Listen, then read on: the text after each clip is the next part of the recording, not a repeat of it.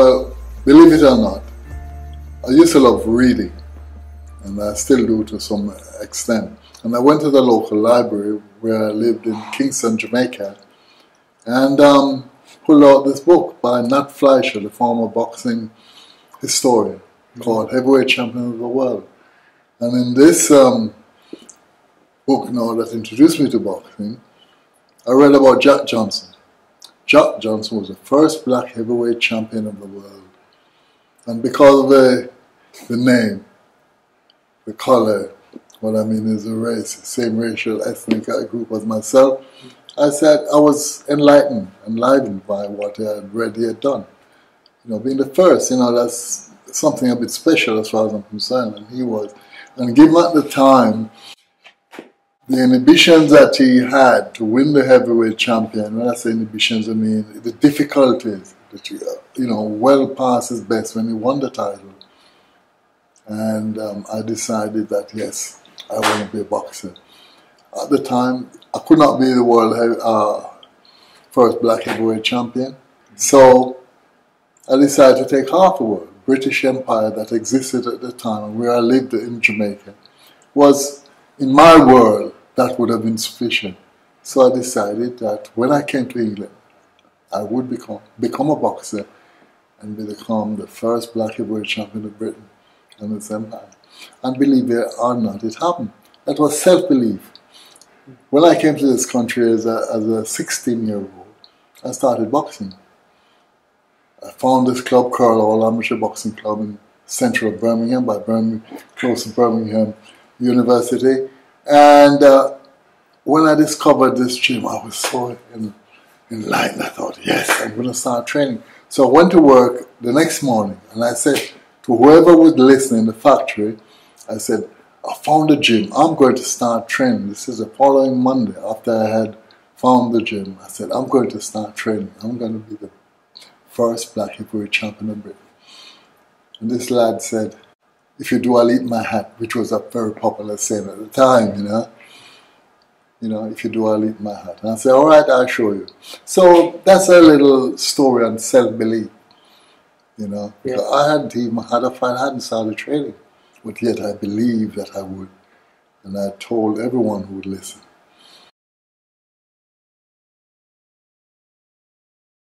All I can remember is I, somehow I ended up on the floor. Danny boy didn't put me down. I was so ecstatic. I didn't know what to do with myself because when those things happen, and when a dream come true, it's, it's out of this world. You know, all I remember saying to this day, I somehow threw myself on the floor in ecstasy, and I'm saying, I don't believe it. Because I was referring to the fact that I had said so confidently that I was going to be the first black heavyweight champion of Britain, and then it happened. You know, so I, I, can't, I, I don't believe it. I don't believe it. That's all I can remember saying, you know, at yeah. the time.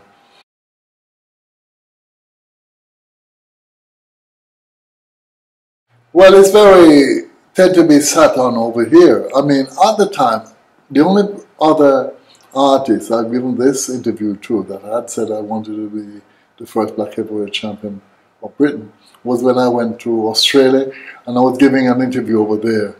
This is about 1981. And, and that's the first time I can remember raising that issue of race and color, which was a very toxic, still is a certain depending on how you approach it.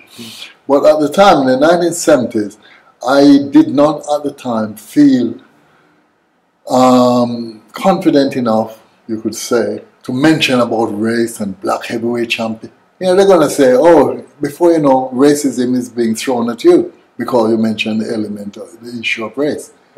Not as an issue, but listen, I'm black and I'm proud and that sort of thing. You know, they would, they would think I'm a racist or something. So I thought better to leave it alone.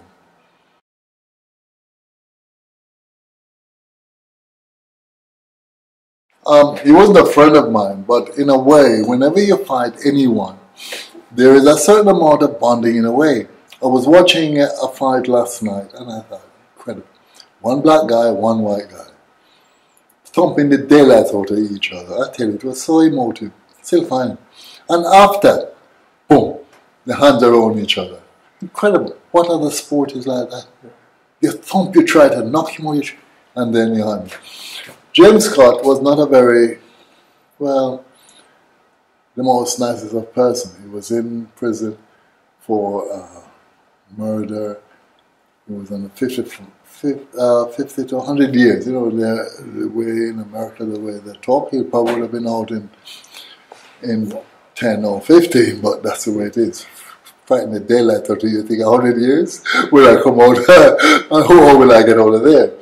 But um, he was unbeaten at the time they wanted somebody with a name as such, you know, to keep his ranking in the top 10 and to um, yeah, see him as a live contender, a dangerous contender, to sell tickets. American TV. My manager at the time, George Francis, came to me and said, Oh, they want this fight. Uh, they want you to fight this guy in America. But, you know, towards the end of my career, they offered me $10,000 at the time I wasn't really fit, fit. Um, if you inv- if you interview too many fighters, you'll hear they all say that whenever they lose a fight. But honestly, it's true. They hear them say that too. But the thing is, I was coming towards the end of my career, um, and they often made me an offer, and I think I could protect myself well enough to go over there, give him a bit of a workout, and possibly, if I'm lucky, I could uh, win. But it wasn't the sort of fight I thought, yes, I'm definitely going to win. Mm-hmm. I didn't think about losing because as a fighter, you're going to be successful. You can't think about losing. You know, you got to protect yourself, and that's the beginning. Protecting yourself mentally. I cannot be beaten. I won't be beaten. However, you know the realities of life. Sometimes it happens. Sometimes it doesn't. But yeah, it was a an, an experience which was unique to me because not very often too many fighters fight in prisons, you know. But they were, I think the manager, the governor of the prison at the time was trying to experiment to see if he could get them, those tough guys, rehabilitated from inside the prison before they move out, so they have something to do with, you know. And it was working, but um, that's another story which I don't know too much of. But I enjoyed going over there and, and the experience of fighting all we we had maybe about a thousand inmates outside in the yard. And guess who they shouted for? Yes, you got it, James Scott. but um, I did. I did. I, I fought as well as I could. Did my well. Did my bit.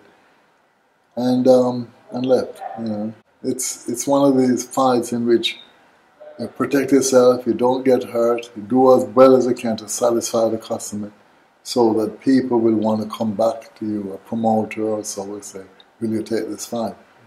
You know, but not one of my better performances because as I said, apologetically early, earlier, it was towards the end of my career.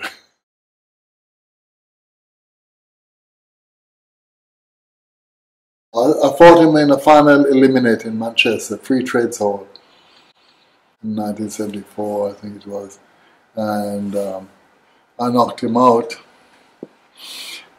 The next time, in defense of the British heavyweight title that had become the first black heavyweight champion and had won as I said I would, he got the decision and points. He got the title on the decision. And um, I was a bit disappointed, but you know, you have to. I've been accustomed to a, a having disappointments and then it passes and then get down to it and get in the gym and you work at it again. Because that's the only way. If you're disappointed every time, then you wouldn't last too long. So you have to put it behind you. In looking at it, I went down to my more natural weight and fought and won the light heavyweight titles as well at, at the late stage in my career, which is, doesn't usually happen, you know, because by then you know, I'm supposed to be looking to retire. But then I thought the heavyweight division is all tied up with Don, Muhammad Ali. That's where the big money is. The black-white thing still comes into it. Don had two chances, Slim and none. But is Muhammad Ali the greatest? Second, no, he's the greatest.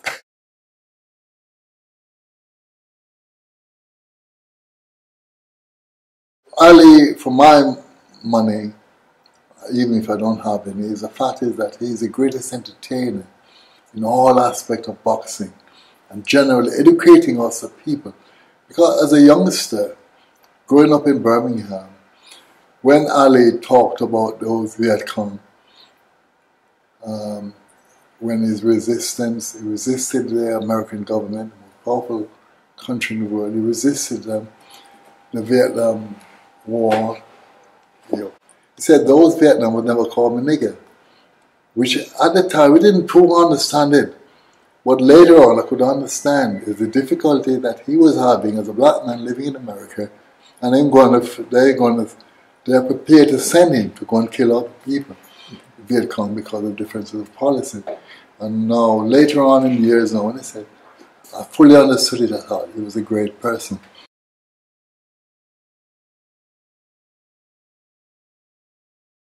Past my best. You know, I passed my best. Although Traversaro, the Italian I fought, um, I'd have loved to I thought I'd have loved to have been able to fight him, say, three, four years earlier. But that's the way life is. You have to fight as the opportunity arises. There's no point in looking back. But he was a tough fight, not technically sound, but he was a tough fighter who wanted to win, and he, he pressured me, and they stopped it in the 11th round.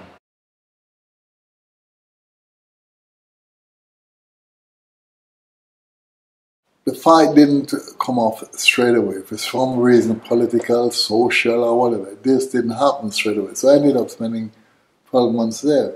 But when I went, left cold and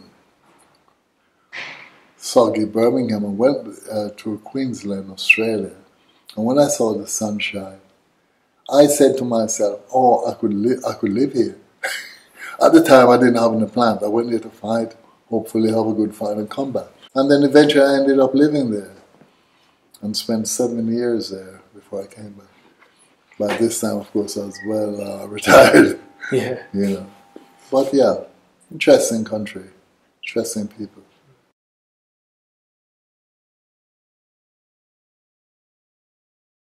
See, the thing is, Dennis Andries, I was six years older than him, and whenever you begin to turn 30, that's one of the things managers have to do. They have to pick the fighters well, because however good you are, physiologically, you begin to wane.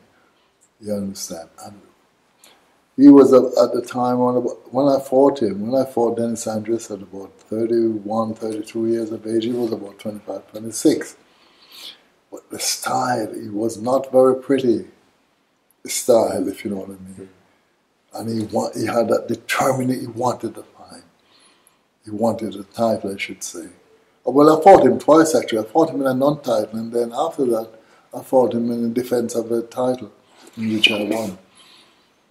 Successfully defended it, and, uh, and as a result, had the, the Lonsdale belt as my own.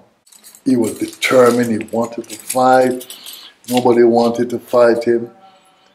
Once I'm nominated, a champion has been nominated, I have to fight the champion, the, the challenger. And it was hard work. But I enjoyed it after.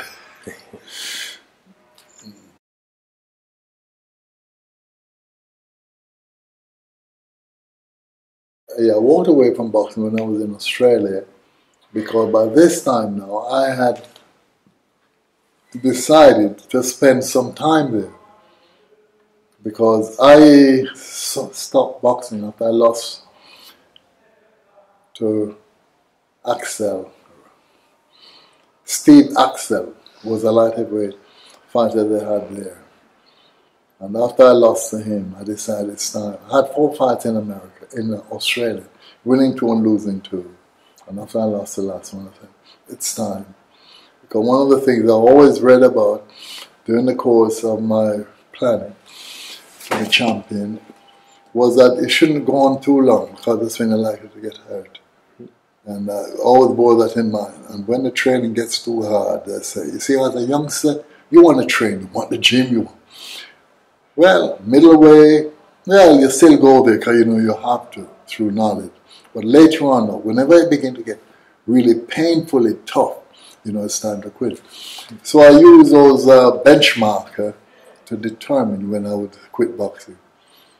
So as to hopefully save some of my faculties. In Australia, I um, I was associated with uh, one of the promoters that actually invited me over there, Peter Foster, very infamous uh, chap, Peter Foster. You'd have to research him to find out because he had uh, he had the uncanny gift to mix with the right people, and even when they know, he still were able to mix well.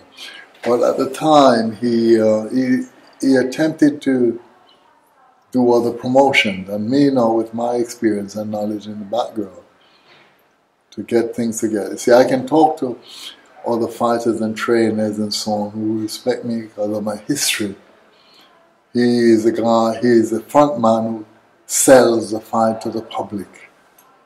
So in my association, association with uh, Peter Foster, who has uh, a history of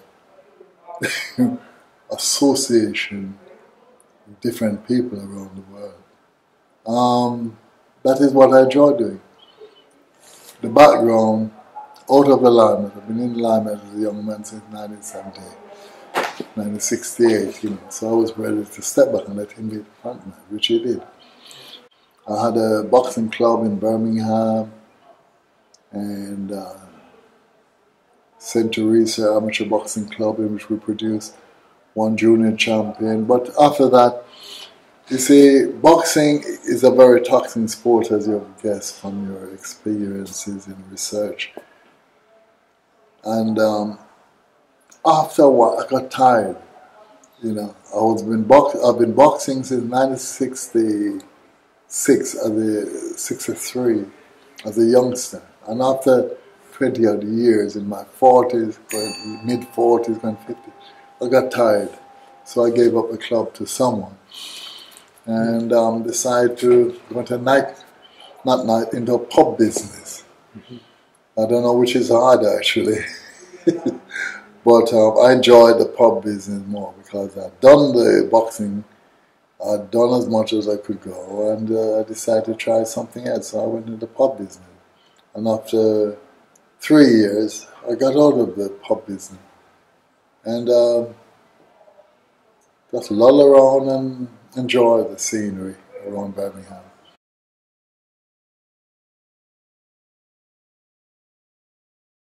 Well, mm, I have a lovely wife who uh, cares about me as maybe to detect from the way she fusses about a bit. Nice. I'm lucky. I hope you found. You, are you married? No. Mm. And um, we have two children. We've been known. We've known each other for about twenty odd years or thereabouts. I don't know. She knows the exact date and time. And we have two children, sixteen and eighteen. And um, I've retired from any sort of earnings and so on. Whatever little investment we had is already done. She works sometimes she has a mind to.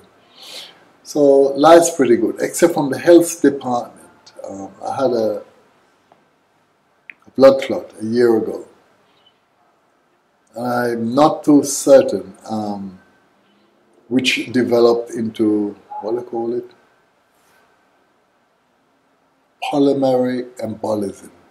I'm still being treated. I don't even know what I'm being treated for because the pulmonary embolism, oh, I'm taking blood thinning tablets, it says, which is to assist the movements of blood. If I have little bits and pieces, then of course it will uh, swim with the rest and I'll live here for another few years if yeah. I'm lucky.